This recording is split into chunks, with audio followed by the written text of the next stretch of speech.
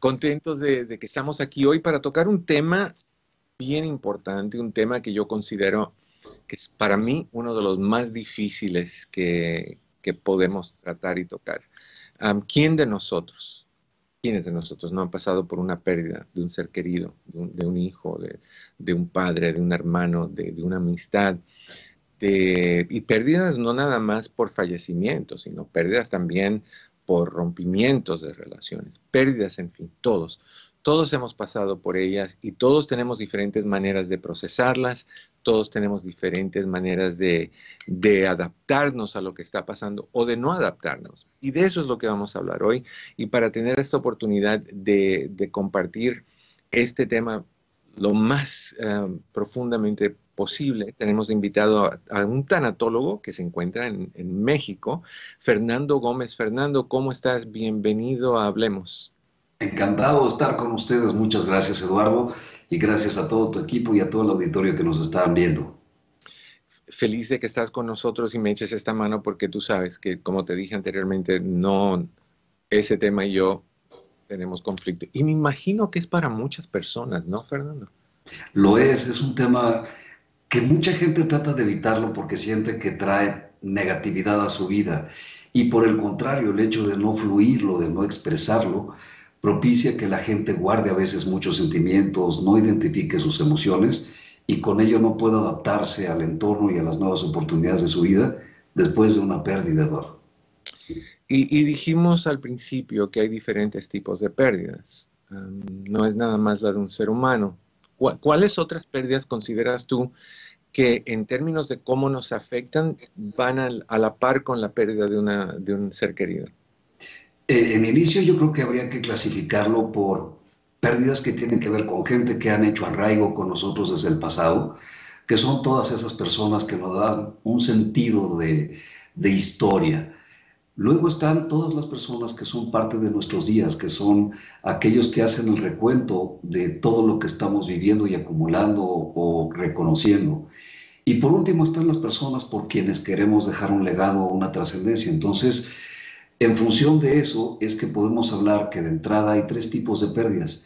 Las que afectan a nuestra historia o nuestro arraigo, las que afectan nuestro estilo de vida y la forma en la que vivimos nuestros hábitos, y aquellas pérdidas que tienen que ver con una ruptura al futuro, al legado a la trascendencia que estamos viviendo. Ahora bien, de cada una de ellas tenemos a su vez clasificaciones. Va desde la pérdida de objetos, la pérdida de territorio, la pérdida de un hábito de tiempo, de proyecto de vida, la pérdida de un familiar o un ser querido, la pérdida de un estilo o filosofía de vida, de creencias espirituales o religiosas. Y a ello también podemos agregar pérdidas que tienen que ver ya con la percepción, las decisiones o la forma de conectarse con el entorno.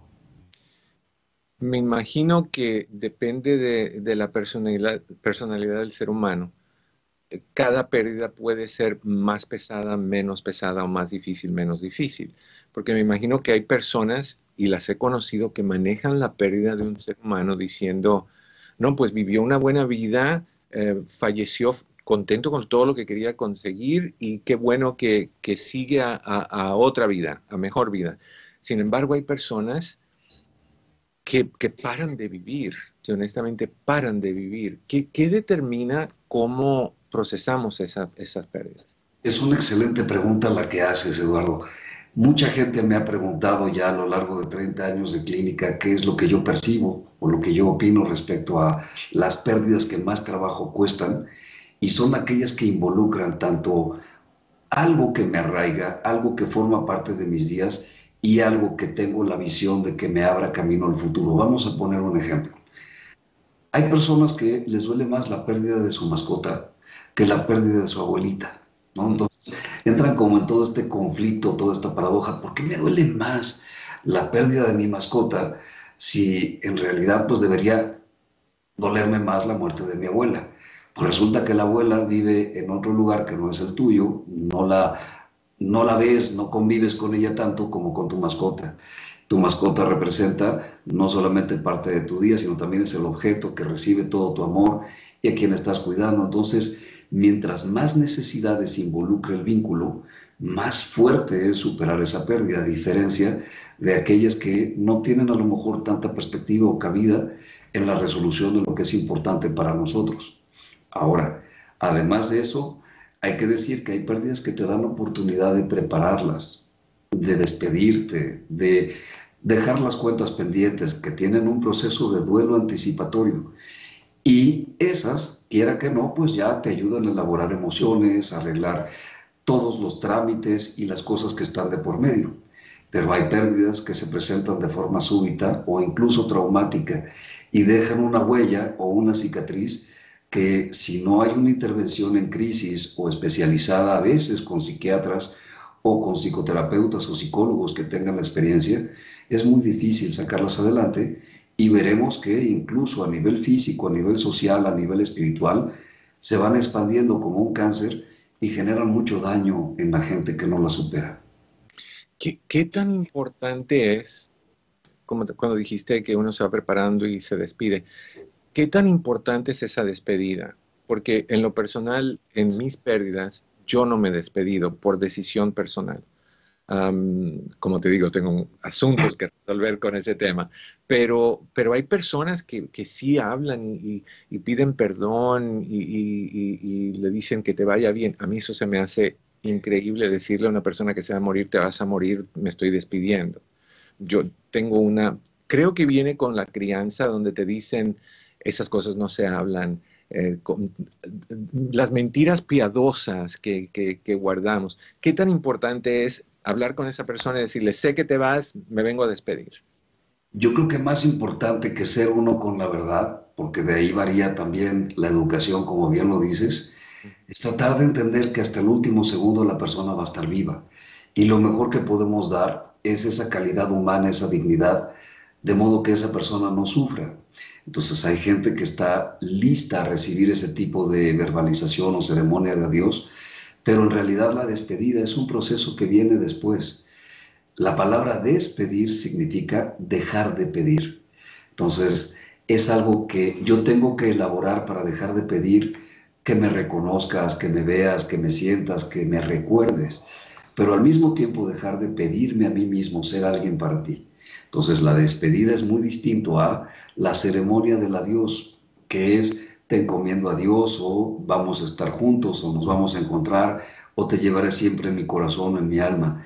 Entonces mientras tú puedas hacer que esa persona tenga paz, tenga una sonrisa, tenga tranquilidad en sus últimos momentos, estaremos haciendo remarcación en lo que es la calidad y la dignidad de vida que toda persona merece en su momento final más que ver la necesidad egoísta de yo quiero despedirme, yo quiero decirte lo que nunca te dije, no es el momento propicio si una persona ya está en estado de deterioro o crisis, venir a cargarle ahora toda nuestra ansiedad, toda nuestra culpa, todas nuestras eh, ilusiones o pendientes, cuando una persona lo que necesita es simplemente sentir que estás ahí, que estás acompañándole en amor, en comunión, para poder dar ese paso, para poder dar ese brinco. Entonces, la respuesta es, aun cuando una persona no puede estar en el momento final, cuando no pueda verbalizar te amo o lo siento o perdón, lo puede trabajar a nivel terapéutico una vez que la persona ha fallecido y a veces tiene incluso mayores resultados que el hecho de pretender que por decirle adiós o perdón o lo siento a alguien vaya a sacar adelante eso. Fíjate que eso es algo que yo encuentro desde este lado. Tú estás en México, yo estoy en Estados Unidos. Mucha de nuestra gente que está aquí indocumentada y tienen a una madre, un padre o hermanos en, México, en cualquier parte de Latinoamérica. Y la persona se enferma y no pueden ir a despedirse y viven con esa culpabilidad de que no pudieron, de que quedó inconcluso. Siendo eso tan común, porque lo es, ¿cómo, cómo se le ayuda a esa persona a, no sentir esa culpabilidad y poder procesar saludablemente e, ese, esa, esa desunión?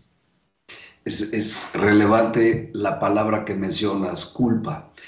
Cuando hablamos de culpa hay que hacer la diferencia de la palabra evitabilidad.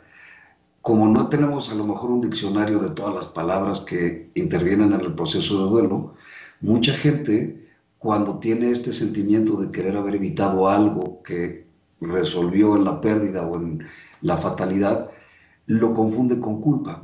Todo aquello que nos genera culpa conlleva una responsabilidad que no se asumió o el haber actuado con dolo, con alevosía o con ventaja, vaya con saña, contra alguien. Entonces, si tú tenías la noción de que tenías una responsabilidad o podías comportarte de una mejor forma, entonces ahí sí vas a tener culpa y eso se tiene que trabajar tratando de ver convenios o forma de resolver o cerrar la expiación a esa culpa. Y para eso hay muchas técnicas. Pero la mayor parte de la gente, Eduardo, lo que trata de verbalizar como culpa en realidad es ese sentimiento de si yo no le hubiera dicho, si yo no le hubiera permitido, si yo no hubiera, cuando ya empieza con el si no hubiera, eso no es culpa.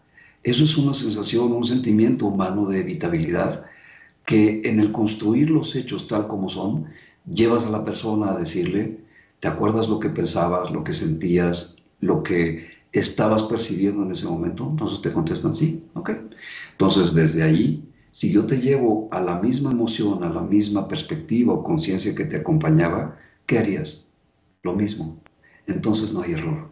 Lo que hiciste era lo que estaba en tus manos hacer y la conciencia que te acompañaba para dar lo mejor de ti el hecho de que los resultados no nos favorezcan no significa que no hayas hecho lo que estaba en tus manos dar. Fíjate que eso es muy, muy sabio lo que estás diciendo. yo, yo percibo que no tiene sentido ir al por qué no hice, si solamente hubiera, uh, por qué no esto, lo otro, porque en su momento uno da lo que cree que es lo mejor de uno. Y yo creo que para poder decir, debí haber hecho, debemos estar en la misma situación bajo las mismas circunstancias. Y eso es imposible. Entonces, en el momento hicimos lo esencial. Y en un segundo después tú puedes pensar en una mejor manera de haber hecho las cosas. Entonces no es justo que teniendo un mes de, de, experiencia después de esa muerte, que tú te sientes a decir, oye, ¿por qué no hice esto con su vida? Porque en ese momento no se te ocurría, no era lo mejor que tú podías hacer, pero es difícil. Ahora, Tú mencionaste antes de que habláramos al aire, me, comentaste que tú llegaste a conocer a Elizabeth Kubler-Ross, que es una de las pioneras de, la tanatología, obviamente. Elizabeth identifica diferentes pasos o etapas de, la pérdida, del luto. ¿Podemos hablar un poquito de cuáles son y, cuál es el orden o si no hay orden o si hay desorden en ellas? En 1968 propiamente, eh, es cuando ella empieza a hacer estas fases o esas etapas en donde habla en el libro sobre la muerte y los moribundos, sobre cinco etapas, Eduardo. La primera era la negación, en donde es una clase de shock. Las personas no perciben, no conectan con la noticia porque es demasiado impactante.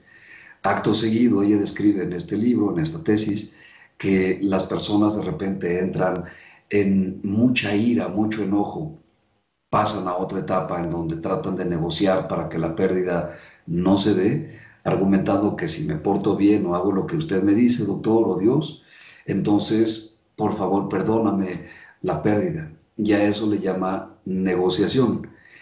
Cuando se consume la pérdida, entra en estado de depresión y después de un tiempo entra en etapa de ajuste. Pero ahí te va un secreto.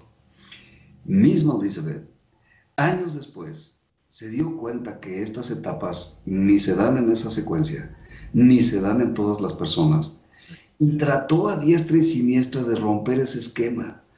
Pero el VIH-Sida y todo lo que ocurrió con, con la pandemia en ese momento hizo que los referentes que había dado Elizabeth se difundieran tanto que ni ella misma pudo ponerle freno y decir, oigan, existen una diversidad de fases y formas de vivirlo y se quedó en la mente de la gente.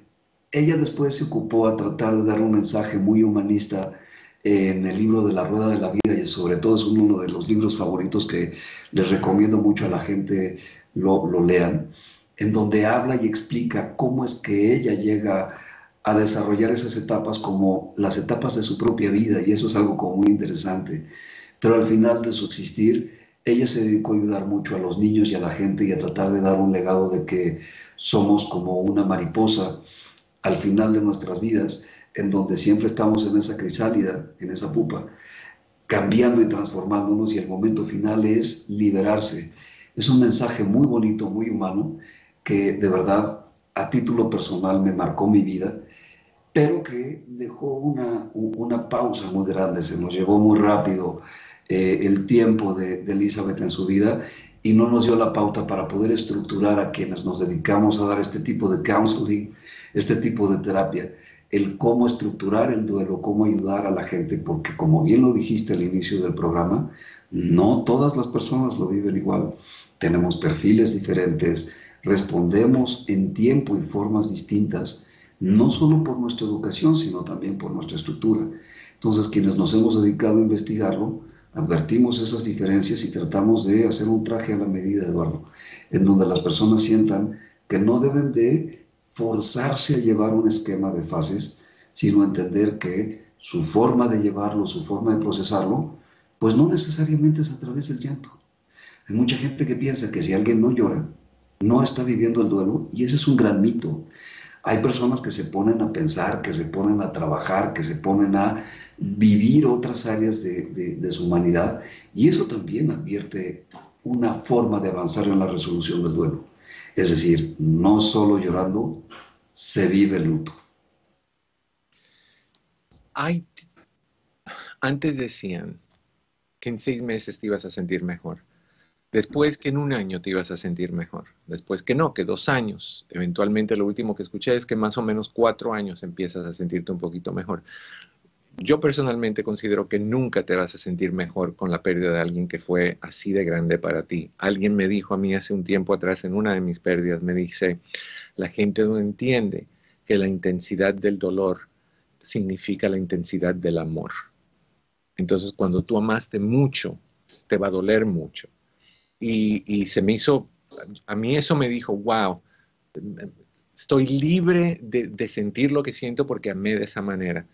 ¿Hay, hay, límite o, o, cuándo más o menos podemos decir, ya, a ver, cuándo me empiezo a sentir mejor? ¿Me das permiso de poner un pero a esto que has dicho? Sí, sí. Lo que yo he descubierto a lo largo de los años es que de amor nadie se muere. El amor nos rescata a vivir. El tamaño del duelo más bien depende de las ausencias que no hemos resuelto. Depende de esos vacíos que vamos acarreando del sinsentido de vida. Pero cuando realmente aprendemos a amar, aprendemos a apegarnos a lo que realmente es la esencia de existir, con o sin las personas que alguna vez nos acompañaron. Entonces, más que la profundidad de amor, las personas más bonitas de alma que he conocido es la gente que ha aprendido a amar sin condicionarlo a emociones, a necesidades de resolución de otros.